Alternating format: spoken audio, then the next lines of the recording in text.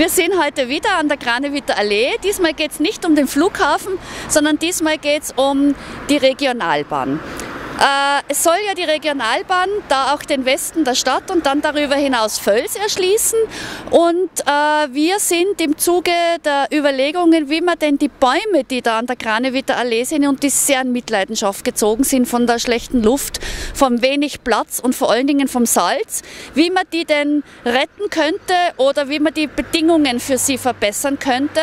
Und da sind wir auf die Idee gekommen, ob man nicht beim Regionalbahnbau gleich einen großen langfristigen, weitblickenden städtebaulichen Wurf macht, indem man nämlich die Kranewitter Allee Richtung Flughafen verlegt und damit weg den Straßenlärm von den Menschen. Und dort, wo jetzt die Kranewitter Allee verläuft, die Regionalbahn, also die, den öffentlichen Verkehr zu den Menschen bringen, die Autos weg von den Menschen, gleichzeitig mehr Platz für die Bäume und vielleicht sogar auch noch Lärmschutzmaßnahmen für die Menschen gegenüber äh, Verkehr und Flughafen. Und das wird jetzt in der Stadt heftig diskutiert. Es ist natürlich nicht so einfach, wie die kleine Uschi sich das vorstellt, aber die Städteplanerinnen und Verkehrsplanerinnen haben Lunte gerochen und wir sind jetzt dabei, Clubstellungnahme zu verfassen. Und darum sind die Renate und die Uli heute mit mir auch da beim Lokalaugenschein. Und ich gebe gleich mal das Mikro weiter an die Uli, was sie denn so denkt zu so einer größeren Lösung.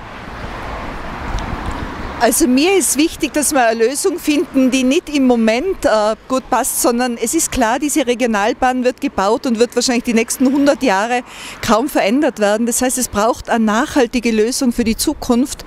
Jetzt kann das vielleicht im Moment manchen erschrecken, wenn man sich vorstellt, man müsste eventuell auch die Bäume wegtun und diese ganze Allee neu pflanzen. Mir persönlich wäre es allerdings lieber als wie der derzeitige Zustand, wenn man sich diese Bäume anschaut, da auf der nördlichen Seite, dann sieht man, äh, wie schlecht es denen geht und wie permanent Bäume nachgepflanzt werden müssen und eigentlich kaum Bäume so richtig groß werden und gesund äh, leben können. Und ich denke mir, da braucht es einfach jetzt, wenn man äh, so große Veränderungen macht da heraus, dann braucht es wirklich eine Lösung, die auch das mit einschließt, dass das Ganze eine Kranebitter Allee bleiben kann. Da sieht man jetzt auch wieder einen Baum, der gerade kürzlich neu nachgepflanzt worden ist. Äh, und es ist leider auf dieser nördlichen Seite so, dass durch diese Bedingungen, also wie die Bäume da wachsen müssen, in diesem schmalen Streifen drinnen und belastet eben durch Verkehr, durch Abgase, ähm, durch Salz im Winter, müssen auf dieser Seite Bäume immer wieder nachgepflanzt werden, weil sie eingehen. Und wenn man auf die andere Seite hinüber schwenkt, dann sieht man diese wunderbaren großen Bäume, diese alten, die im Grunde die gleichen Lebensbedingungen haben, nur mehr Platz. Das ist der einzige Unterschied. Und die halten das aus. Und auf der nördlichen Seite die Bäume halten das nicht aus. Also was mir aufgefallen ist beim Lokalaugenschein jetzt ist, wir stehen da jetzt seit einer guten halben Stunde und es ist so wahnsinnig laut, es fahren so viele Autos.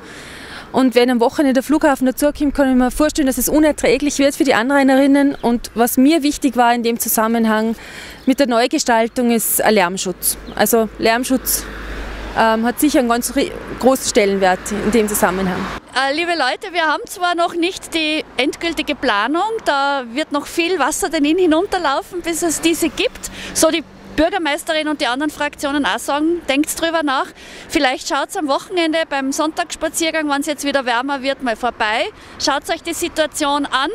Lasst eurer Fantasie ein bisschen freien Lauf. Vielleicht habt ihr Ideen, wie man diese vielen äh, äh, Fliegen auf einen Schlag schlagen könnte.